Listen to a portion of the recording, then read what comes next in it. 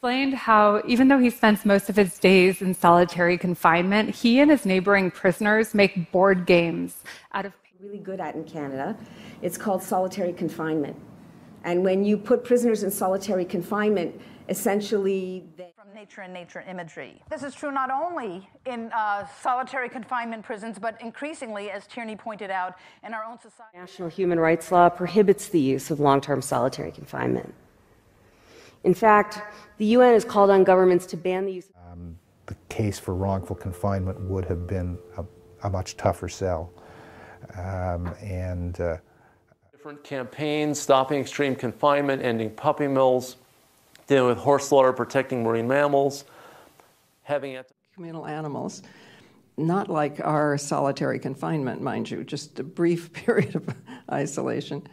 Uh,